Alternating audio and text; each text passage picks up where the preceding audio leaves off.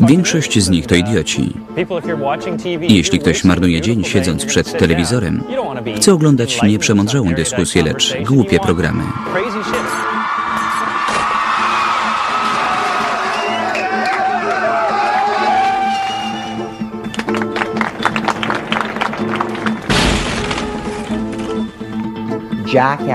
To pochwała głupoty. Dziś nikt nie zachęca do zdobywania wiedzy. get intelligent. You know, To it's- nie jest cool. not Cool. Being stupid is an Bycie głupkiem jest atrakcyjne.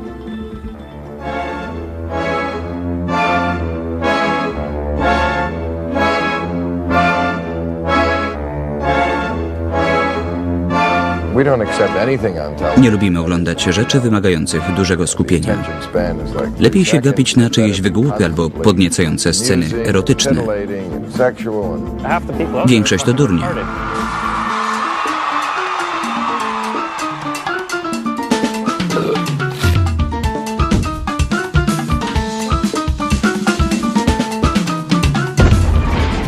Czysta głupota.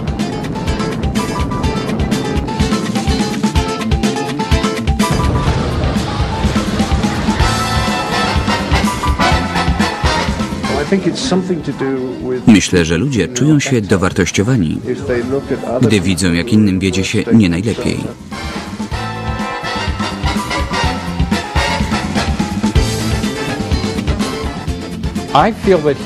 Człowiek to chyba najgłupszy z istniejących gatunków. uh, Oczywiście inne zwierzęta też robią wiele głupich rzeczy. Jednak ludzie osiągnęli w tej dziedzinie absolutne mistrzostwo.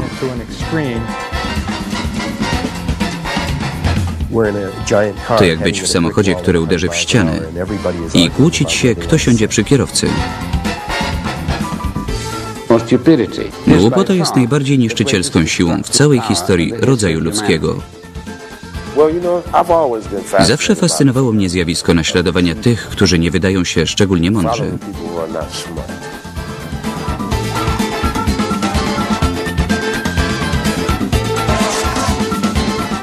This To świat Busha juniora. Prezydenta USA nazwał kretynem. Wcale nim nie jest.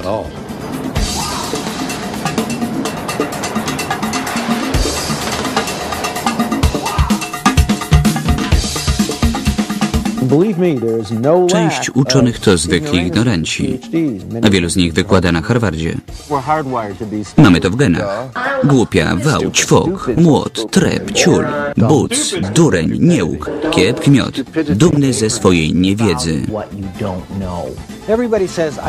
Każdy twierdzi, nikt nie będzie mnie uczył, co mam myśleć. Then when you interview 50 people, well, Gdy kolejnych 50 osób odpowie dokładnie tak samo, to wniosek może być tylko jeden. Ci ludzie są Głupi. Einstein powiedział, że wszechświat oraz ludzka głupota są nieskończone.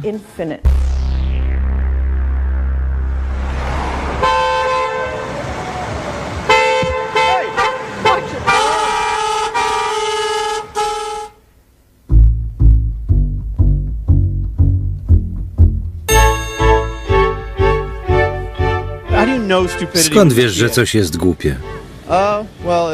I jeśli o to chodzi, Niełatwo tak dokładnie powiedzieć. niektórzy głupotą nazywają zwykły brak wiedzy. Głupie może też wydawać się dziwne zachowanie osoby po prostu szalonej.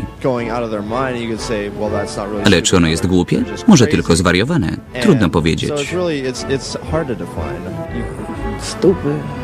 Głupie? Nie mam pojęcia. Każdy popełnia błędy. Nie ma ludzi idealnych. Trudno wyjaśnić, co należy uznać za głupotę. Nie ma tu reguły. Ktoś wykształcony może być jednocześnie durniem.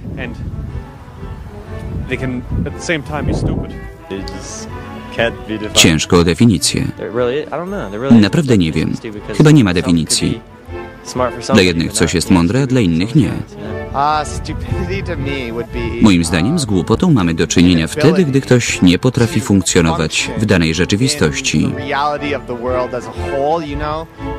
Na przykład, no, ten cholera. Ciężko powiedzieć. To znaczy, nie można, nie wiem, czy istnieje jakaś definicja.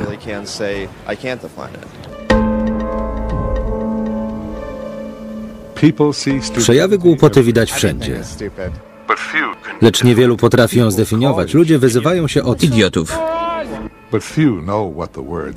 Mało kto wie, co te słowa znaczą. Wiedza o głupocie jest niewielka. Może by tak nakręcić o niej film. Mam spore doświadczenie, nieraz palnąłem coś głupiego. Oddzwonimy do pana. Wiele osób uznawało mnie za głupka. Nie zdałem do następnej klasy, chodziłem na zajęcia wyrównawcze z angielskiego. Może właśnie dlatego, że jestem Głupi. Twój brat to dureń. Pracowałem jako reporter. Byłem kiepskim aktorem. Przestań walić mnie w twarz. Co najdziwniejsze, prawdziwy sukces odniosłem, gdy zacząłem udawać idiotę. To twoja misja, Eddie. Tylko on wydaje się wystarczająco głupi.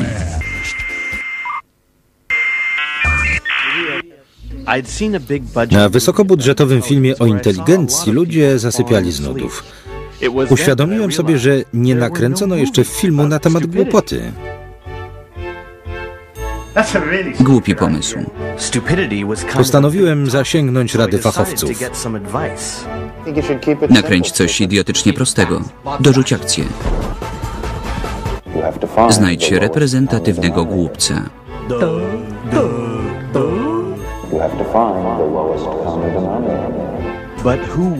Kto by to mógł być?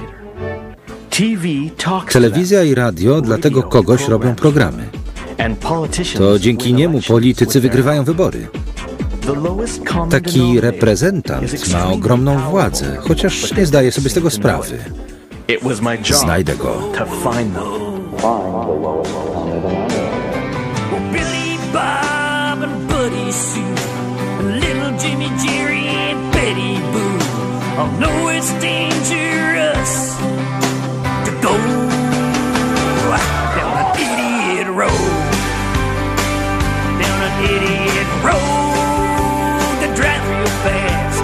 They never put the signal on when they want to pass you. They cut you off as they talk on their cell phones. Down an idiot Randy's to the 30 in the Pats in the lead.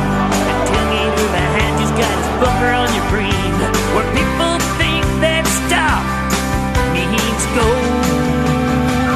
down an idiot road.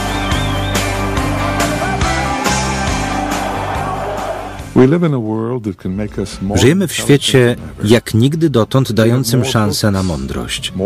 Wciąż przybywa książek, filmów, informacji. Wiedza znajduje się na wyciągnięcie ręki. Każdy może zostać reżyserem lub dziennikarzem.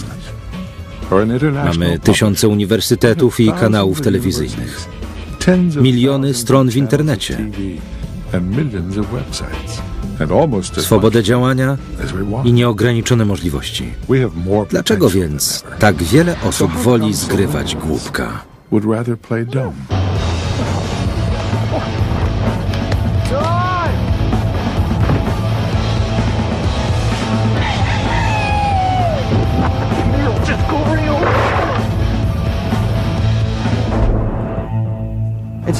Nasza nazwa to akronim. Od jakich słów? Tego określenia używano w czasie wojny, gdy nie można było szybko zdefiniować jakiejś sytuacji.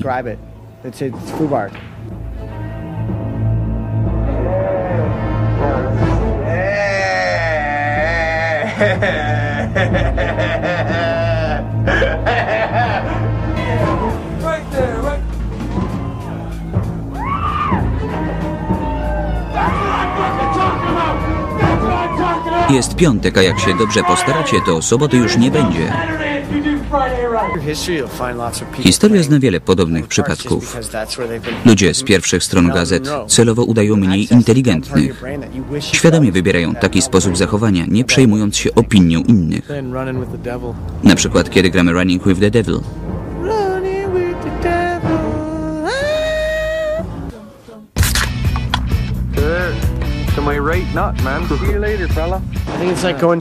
Wolą udawać durnia. Nasz świat pędzi do przodu. Powstają coraz to nowe technologie. Następują gwałtowne przemiany społeczne. Ludzie gnają w nieustającym wyścigu. Jednak część osób ma już tego dość. Czy ten zespół to reprezentatywni głupcy? Nie, bo oni tylko udają idiotów.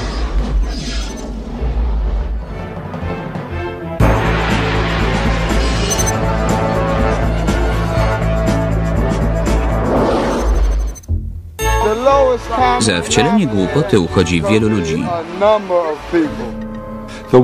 Należy do nich hollywoodzki gwiazdor Adam Sandler.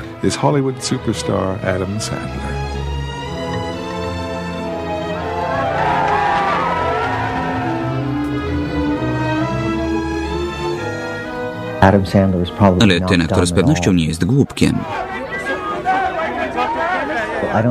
To naprawdę łebski facet, much savvy in który doskonale rozumie, czego może oczekiwać widownia. um, can possibly be done.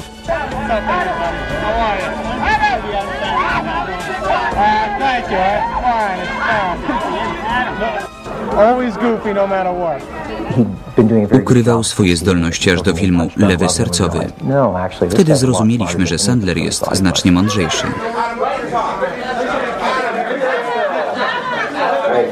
Zawsze ciężko pracowałem, wkładając całe serce w swoje filmy.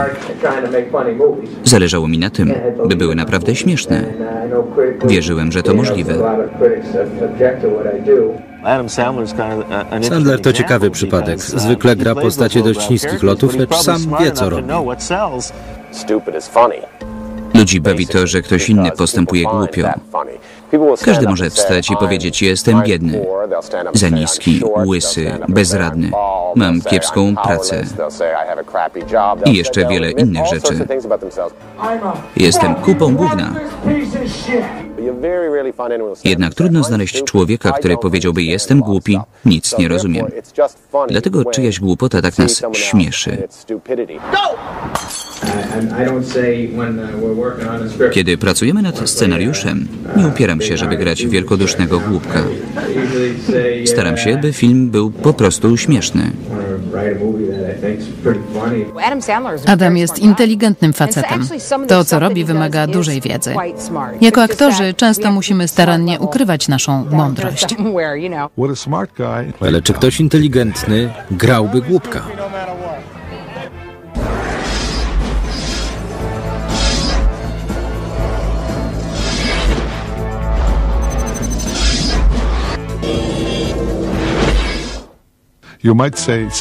Można powiedzieć, że naukowego odkrycia głupoty dokonano w Paryżu na przełomie XIX i XX wieku. Francuski naukowiec Alfred Binet stworzył pierwszy test inteligencji, tak zwany test IQ. Pierwotnie służył on badaniu osób upośledzonych psychicznie. By opisać różne poziomy niepełnosprawności umysłowej, używano takich terminów jak debil, imbecyl czy idiota. Dziś zyskały pejoratywne wydźwięki, służą napiętnowaniu czyjegoś zachowania. Nikt już nie nazwie idiotą osoby z zespołem Downa. Idiota to dość powszechnie używane słowo. Co tak naprawdę oznacza? Gdyby przyjąć teorię wieku umysłowego, to idiotą byłoby małe dziecko albo dorosły zachowujący się jak niemowlę. W starożytnej Grecji idiotami nazywano osoby nieuczestniczące w życiu publicznym. crowd. Idiota nie skupia się na sprawach państwa. Zwykli obywatele są więc bandą idiotów.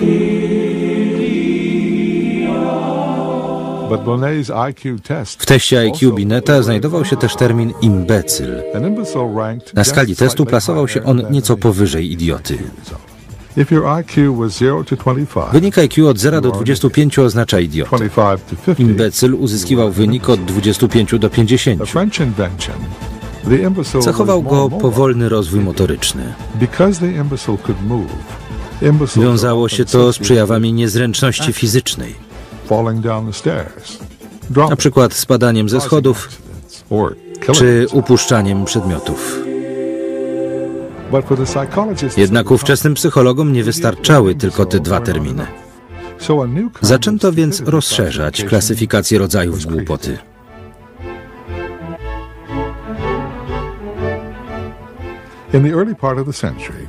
Na początku XX wieku amerykański psycholog Henry Goddard przetłumaczył test IQ na język angielski. Test ten zyskał wielką popularność i stał się głównym narzędziem służącym badaniu ludzkiej inteligencji. Testowano mnóstwo osób.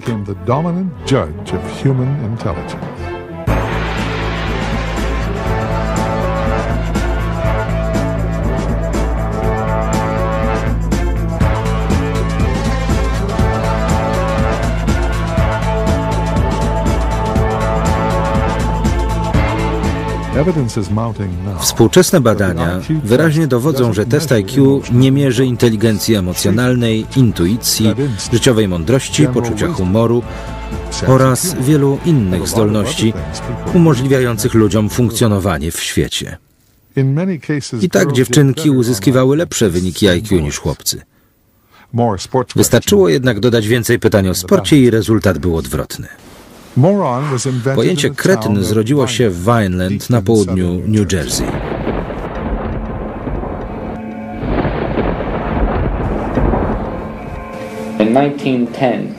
W 1910 roku dr Goddard wprowadził ten termin dla określenia osób upośledzonych umysłowo, ale o wyższym poziomie inteligencji. W tamtych czasach mniej inteligentne dzieci izolowano. Na przykład zamykano je na strychu. Goddard postanowił zwrócić na te dzieci szczególną uwagę. Zaczął nad nimi pracować. Wyniki okazały się na tyle satysfakcjonujące, że Goddard postanowił poszerzyć zakres swoich badań naukowych. Wówczas mianem kretyna nazywano człowieka o niskim IQ. Mogła to być jednak bardzo miła, wrażliwa i rozsądna osoba. Dziś słowo kretyn stało się obraźliwe. Czy wie pani, jakiego ważnego odkrycia dokonano w Vineland? Odkrycia? Prawdopodobnie chodzi o. Nie mam pojęcia. To tutaj narodził się termin kretyn. Słucham? Kretyn. Nie. Stworzono pojęcie kretyn. Nie wiedziałam. Ciągle używamy tego słowa, nie wiedząc, że pochodzi właśnie stąd. Ten termin wymyślono w Vineland. Nie wiedziałem. Dworzec? No, no, the Ośrodek. Miejsce szkoleń. Wiedział pan? Nie. Kretyn. Zajebiście. Kretyn? Tak. Nie. Ani razu? To słowo białych. I think they should give Powinni z tej okazji ustanowić dzień wolny od pracy. Święto kretyna. Każdy miałby wtedy czas dla siebie. Tylko proszę cię, zapisz, że mieszkańcy Wayland nie są kretynami.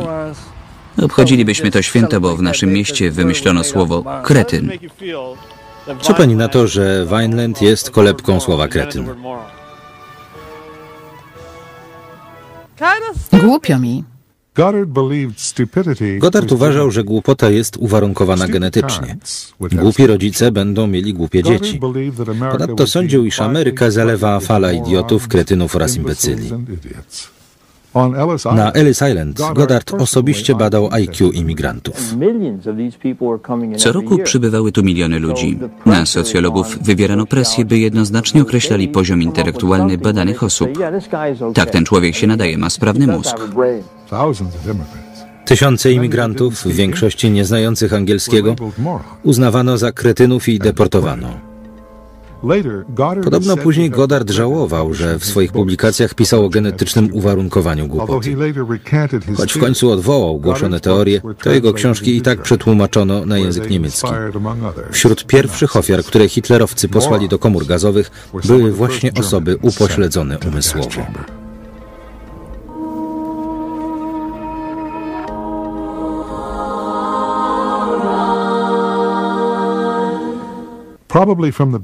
Chyba już od początku ludzie, by wydać się bardziej inteligentnymi, nazywali innych durniami.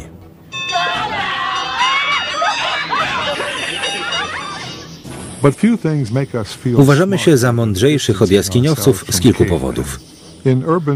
W mieście za przejaw niższej inteligencji mogą być uznawane krzaczaste brwi. Jak to jest, gdy się ma takie brwi?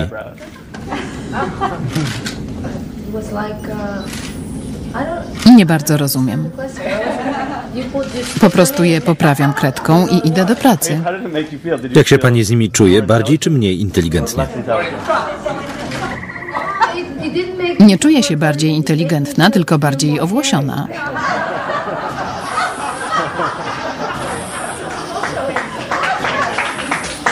Jeśli chcesz, możesz ich dotknąć, wtedy sam zrozumiesz, jak to jest. Dobrze.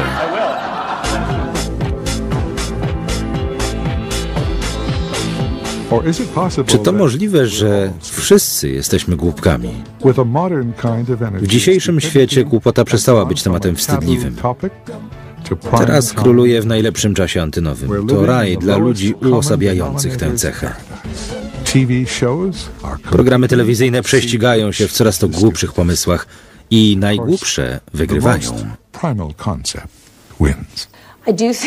Nie sądzę, żebyśmy stawali się coraz głupsi w kwestii chodzenia na randki. Zdumiewają mnie jednak reality shows poświęcone randkowaniu. Przedstawia się w nich cały zestaw durnych zasad, wmawiając szczególnie kobietom, że powinny się zachowywać w głupi sposób. Spraw, by poczuł się mądrzejszy, bardziej interesujący. Inaczej go upokorzysz. Wynika to częściowo z chęci przypodobania się młodzieży. Każdy wie, że młodym ludziom często brakuje mądrości, gdyż jeszcze nie nauczyli się wielu rzeczy. W innych społecznościach uważa się to za oczywiste. Za normę uchodzi darzenie szacunkiem osób starszych, ponieważ to one z racji zdobytej wiedzy i doświadczenia są mądrzejsze. Takie działania mają na celu dotarcie do najbardziej typowych reprezentantów głupoty.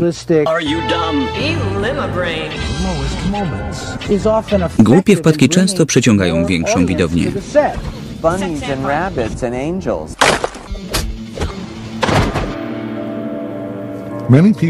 Wiele osób wini Hollywood oraz wielkie korporacje filmowe o to, że celowo ogłupiają widzów, odwołując się do tkwiących w każdym człowieku pokładów głupoty i lenistwa. Głupota ma uwodzić odbiorcę, to niepisana zasada. Hollywoodzcy aktorzy świetnie nadają się do tej roli, ponieważ często brak im odpowiedniej edukacji. Większość z nich nie skończyła szkoły średniej. Nawet osoby, których wizerunek wskazywałby coś innego, na Nie ma matury, chociaż jej ojciec pracował na uczelni. Teraz aktorów się odkrywa, tak jak Keanu Reevesa czy innych. Swoją wiedzę czerpali z pseudopodręczników. Teraz na temat aktorów najwięcej dowiemy się z kolorowych czasopism albo z książek o celebrytach. Co pani ostatnio czytała? Pewnie jakieś metafizyczne brednie, gdyż jej umysł nie potrafił odróżnić rzeczy wartościowych od zwykłego bełkotu. Żeby zostać gwiazdą, często wystarczy być nastolatkiem. Wtedy nie ma się już czasu na studiowanie i podróże po świecie. Człowiek po studiach jest za stary, żeby brać udział w sesjach fotograficznych. Tak wygląda świat rozrywki, a co z dziennikarstwem? Z pewnością wiadomości nie są adresowane głównie do głupców. Oświadczenie rządu przedstawi znana modelka. Media jednak ogłupiają, upraszczając rzeczywistość. Dziś wiadomości mają formę 20-sekundowych migawek. Pracowałem w radiu oraz jako dziennikarz prasowy. Każde czasopismo ma dokładnie określoną grupę wiekową odbiorców, do których stara się dotrzeć ze swoim przekazem. Zwykle nie są to osoby dorosłe. Zdarzało się, że przekonywano mnie, bym pisał dla gimnazjalistów. W nieco bardziej ambitnych czasopismach mówiono mi, pisz tak, jakby twoimi czytelnikami byli uczniowie szkoły średniej. Boją się utraty widzów. Używanie zbyt wielu niezrozumiałych słów może sprawić, że odbiorca po prostu przełączy telewizor na inny program.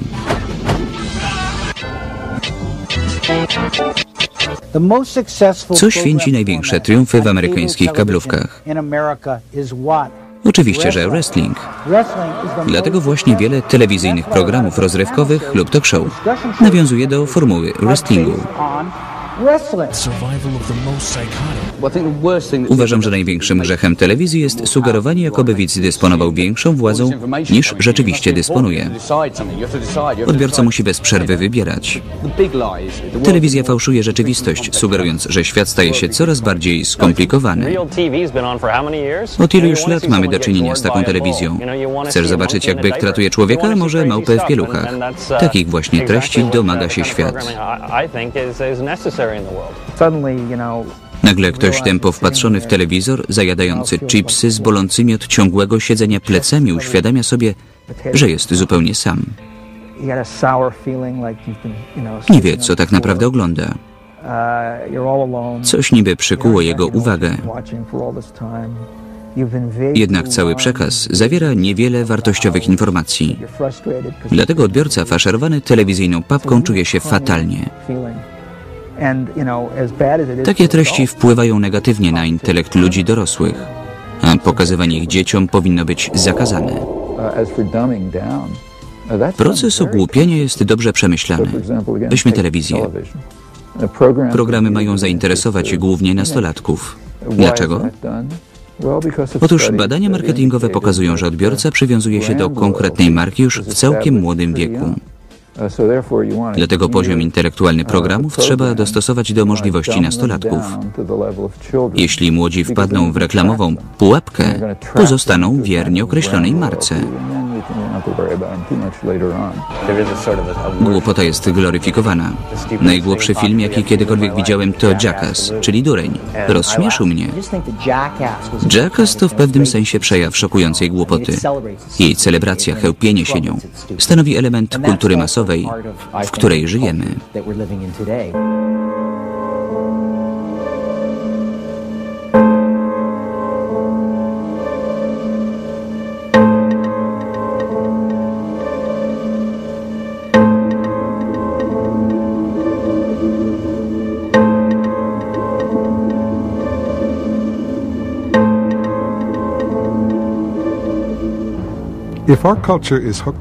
Skoro nasza kultura jest przesiąknięta głupotą, a to może być niebezpieczne, czy nie powinniśmy się martwić, że temat głupoty nie został gruntownie zbadany? Dziwne, że dotychczas powstało tak mało prac naukowych o głupocie.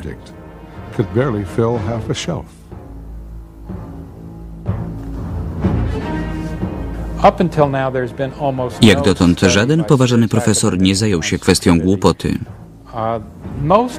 Większość książek, które na ten temat napisano, jakieś 8-9 pozycji, to głównie różnego rodzaju zbiór anegdot, pełno w nich przykładów głupich zachowań. Te książki są naprawdę interesujące, ich czytanie dostarcza wiele zabawy, jednak nie wnoszą nic nowego. Dowiemy się z nich jedynie, że na świecie żyje więcej głupich ludzi, niż wcześniej myśleliśmy. Jeszcze się nie spotkałem z dobrą definicją inteligencji albo głupoty. Wiadomo, że głupota istnieje, ale nie potrafimy jej określić. Obawiamy się głupich zachowań, jednak nie słyszałem, by kiedykolwiek przeprowadzono badania naukowe nad głupotą. Według Marksa głupota stanowi trzeci z czynników wpływających na koleje historii. Pierwszy to oczywiście kapitał który determinuje wydarzenia na świecie. Potem przemoc. Trzecim kluczowym dla kreowania rzeczywistości zjawiskiem jest właśnie głupota. Skoro nie wiemy, czym jest głupota, to jak zdefiniować mądrość? Jesteśmy bardzo głupi. Einstein powiedział kiedyś, że wszechświat i głupota są nieskończone, z tym, że nie jest pewien. Nie, inaczej. Einstein powiedział, że wszechświat i głupota są ograniczone, ale nie jest pewien co do.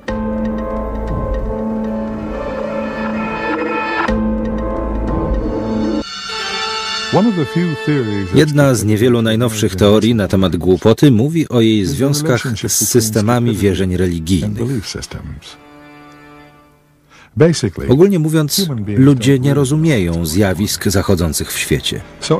W tej sytuacji przekonania religijne stanowią mechanizm obronny. Każdy z nas ma swoje przekonanie i przetwarza informacje zgodnie z wyznawanymi zasadami. Jeśli coś pozostaje z nimi w zgodzie, człowiek przyswaja dane informacje. Gdy zaś odbiegają one od przyjętych schematów, wówczas są odrzucane. Zatem człowiek nie przetwarza informacji kłócących się z jego sposobem myślenia.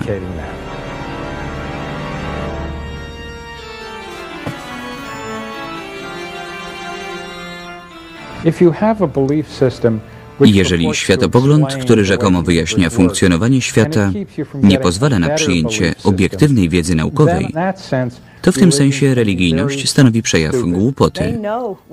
Muzułmanie wiedzą, czego chce od nich Allah. Chrześcijanie doskonale znają oczekiwania swojego Boga. Podobnie Żydzi. Posiadacze jedynej prawdy. Działacze lewicy oskarżają prawicę o głupotę. Prawica stawia takie same zarzuty. Brak tu zdrowego rozsądku. Może właśnie dlatego tak dużo głupoty w polityce. Czują się tak szlachetni, że chcą narzucić swój punkt widzenia całemu społeczeństwu. Światu grozi zagłada spowodowana wojnami. Skoro tak się dzieje, to oczywiste jest, że powinniśmy zapanować nad tym zjawiskiem. Wojna z natury rzeczy jest głupia. Mimo to ludzie nie potrafią zaprzestać walki. Ciągle gdzieś na świecie wybuchają nowe konflikty. Czy to nie największa głupota?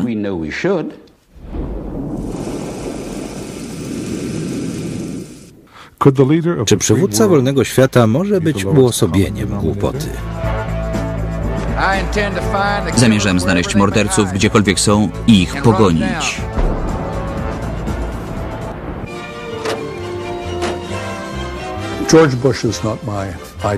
Nie jestem zwolennikiem Busha juniora. Pod względem głupoty dorównuje wielu amerykańskim politykom. Jedyny wyjątek stanowi tu chyba Reagan.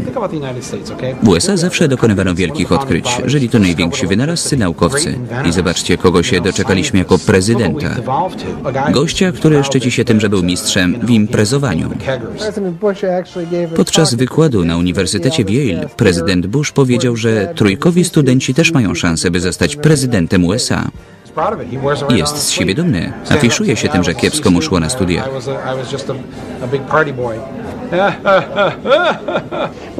Zawsze mnie zdumiewało, że Bush miał kłopoty z wysławieniem się nawet w najprostszych kwestiach. Można powiedzieć, że językowo był sprawny inaczej. Mieszkańców Pakistanu nazwał Pakińczykami. Nie przypominam sobie, by na urzędy państwowe wybierano intelektualistów. Poziom IQ nigdy nie był istotnym kryterium. Prezydent szczycił się swoją tempotą. Może właśnie dlatego promował pewne rozwiązania. To będzie monumentalne zmaganie dobra przeciw złu. Wypowiedź całkiem pozbawiona sensu, ale ładnie brzmi. Zmaganie pomiędzy dobrem i zmaganie pomiędzy złem. Media nie zadają żadnych racjonalnych pytań, jakich oczekiwaliby myślący obywatele w demokratycznym kraju. Na przykład weźmy ten termin. Oś zła.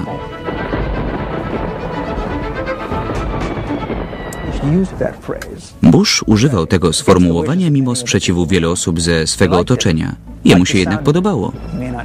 Chyba nie wiedział, co podczas II wojny światowej oznaczał termin państwa osi. Nieważne. Grunt, że ładnie brzmiało. Trzy kraje zło. Wszystko gra.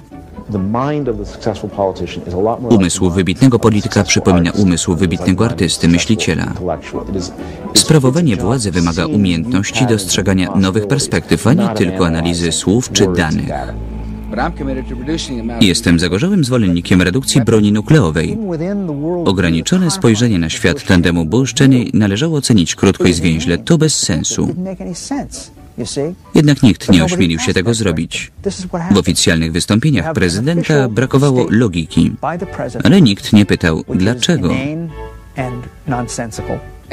Zmaganie pomiędzy dobrem i zmaganie pomiędzy złem. Media po prostu przekazywały informacje, nadając absurdalnym stwierdzeniom pewną rangę. Nikt nie podał w wątpliwość sensu tych wypowiedzi. Żaden dziennikarz nie spytał, ale o co właściwie chodzi? Wiem, co znaczy utrzymywać chleb dla rodziny. Co on wygaduje? Jesteśmy skłonni sądzić, a może tylko ja tak myślę? Albo czy przypadkiem nie zwariowałem? Nazwał prezydenta Stanów Zjednoczonych kretynem. Wcale nim nie jest. Czy urzędnik, który nazwał prezydenta kretynem, pozostanie na stanowisku?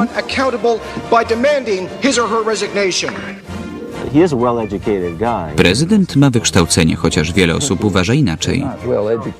Ale mimo najlepszych szkół brak mu mądrości. Niedostatki intelektu postrzegane są jako zaleta. Postawa głupiego Jasia może więc przynosić korzyści. Politycy to nie ludzie, lecz wyszkolone marionetki. Busha, absolwenta Yale, wytrenowano tak, by zachowywał się jak prosty farmer z Teksasu. Nieprzypadkowo używa potocznego języka i nosi kowbojski kapelusz. Swoich odbiorców traktuje jak dzieci. Nie możemy dłużej szukać śladów prochu, które mogą się zmienić w grzyb atomowy. O nie, czy my jesteśmy durniami?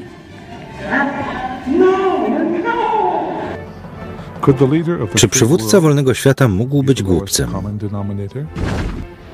Idiotą nie był na pewno, bo wygrał wybory. Imbecylem też nie, bo rzadko się przewracał. Z naukowego punktu widzenia nazywanie Busha kretynem stanowi błąd. Potrafi grać zwykłego obywatela oraz ukrywać swoją inteligencję. To człowiek czynu, który lubi wojnę.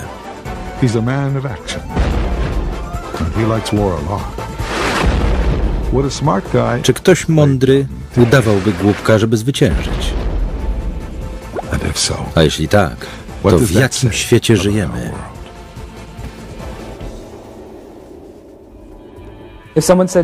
Gdyby ktoś nazwał mnie skończonym durniem, to bym mu podziękował. Pomysł na książkę Niewiedza jest błogosławieństwem zrodził się z osobistych doświadczeń. Byłem zagubiony. Szukałem wyjścia z tej sytuacji. Wtedy zrozumiałem, że uznanie czegoś za problem nie przynosi rozwiązania, tylko samo staje się problemem. Jeśli człowiek o czymś myśli, to robi sobie krzywdę. Snując rozważania na temat myślenia, doszedłem do wniosku, że najlepiej nie myśleć. To po prostu coś strasznego. Od zarania dziejów społeczeństwo zmusza do myślenia nawet małe dzieci. Według mnie należy wpajać ludziom potrzebę umyślnej niewiedzy. To myślenie spowodowało tak wiele szkód. Ryby pływają i całkiem dobrze im to wychodzi. Nie zajmują się budowaniem rakiet. Uważam, że to właśnie z powodu inteligencji ludzie popadli w kłopoty. Wiodłoby się nam znacznie lepiej, gdybyśmy przestali myśleć. Przedstawiłem w swojej książce program siedmiu kroków mający uwolnić nas od myślenia. Pierwszy krok polega na zaprzestaniu myślenia. To najważniejszy etap. Jeśli ktoś chce być ignorantem, musi sprawić, by jego mózg nie przetwarzał informacji. Jeżeli spowodujesz wypadek po pijanemu, zaczynasz myśleć. Proces myślowy sprawia, że oskarżasz samego siebie. A to przecież nie twoja wina. Lepiej zrzucić odpowiedzialność na bar, który nakłonił cię do picia alkoholu. O zniszczenie słupa oskarżyć producenta samochodu, a przede wszystkim firmę telekomunikacyjną stawiającą przy drodze przeszkody, w które można wjechać samochodem. Gdy już uwolnisz się od myślenia, czas na odrzucenie uczuć. Solidny mur, który wzniesiesz wokół siebie, będzie cię wtedy skutecznie chronił. Większość ludzi uważa, że stawianie sobie wyzwań jest dobre. To nieprawda. Wmawianie dzieciom, że mogą zostać kimkolwiek zechcą, to początek życiowej tragedii. Dzieci myślą, że są ładne i mądre. Wystarczy się rozejrzeć w centrum handlowym. W większości przypadków są głupie i brzydkie. Najważniejszą kwestią przy wypieraniu czegoś jest wyparcie, że się wyparło. Bardzo trudno to osiągnąć. Gdy ktoś wypiera coś, by siebie chronić, musi szybko zapomnieć, że cokolwiek wyparł. Jeżeli zdołasz osiągnąć stan czystej głupoty, nawet nie będziesz o tym wiedział.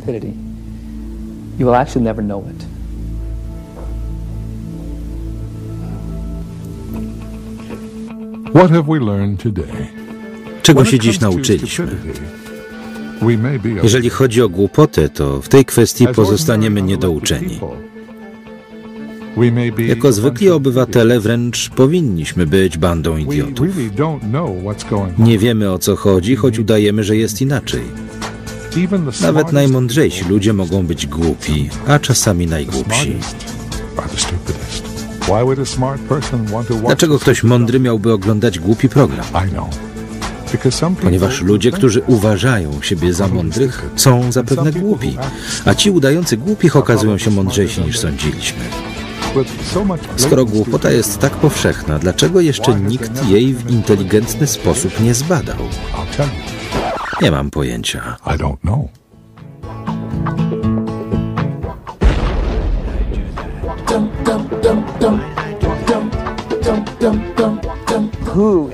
Czy znajdzie się ktoś, kto mógłby powiedzieć, że nie zrobił nic głupiego? Uważamy siebie za wysoko rozwinięty gatunek. Myślę jednak, że nawet Darwin namawiał swoją żonę do bardziej pierwotnych igraszek. Zrobiłem wiele głupot, wy na pewno też. Boimy się, że ktoś odkryje naszą głupotę. Dlatego sam wolę się do niej przyznać. Nie wpadam w rozpacz z powodu własnej głupoty. Każdy ma coś na sumieniu. To nie programy telewizyjne są głupie, tylko widzowie. Not television itself. Powinniśmy sobie uświadomić, że każdy z nas jest głupkiem. Dureń, głupia, wał, ćwok, młot, trep, ciul, buc, dureń, niełk, kiep, kmiot, ale głupek. I wtedy będzie mógł nieco zmądrzeć. Naprawdę? Opracowanie na zlecenie telewizji Planet M Studio. Tekst Adrian Wołoćko. Czytali Elżbieta Groszek, Paweł Straszewski, Daniel Załuski.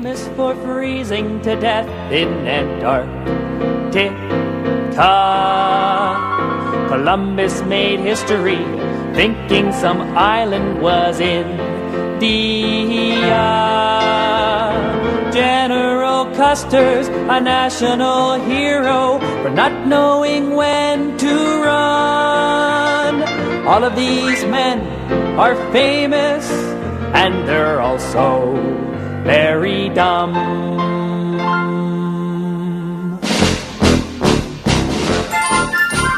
History is made by stupid people. Clever people wouldn't even try. If you want a place in the history books, then do something dumb before you die. Nobility are famous for no reason. Mary Antoinette enjoyed her cake. She caused a revolution when she would not share, and her husband lost his head for that mistake. The Hindenburg was a giant zeppelin. Its makers made a minor oversight. Before they filled it up with explosive gas, they should fix the no smoking light.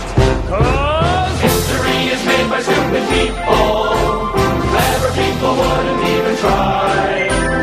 If you want a place in the history books, then do something dumb before you die. Tally ho, tally ho, our king and country's honor we will say. Tally ho, tally ho, we're marching into history and the grave. So if your son and daughter seem too lazy, sitting there watching bad TV, remember you should be quite grateful. At least they are not making history. Oh, history is made by stupid people. Clever people wouldn't even try. If you want a place in the history books, then do something dumb before you die.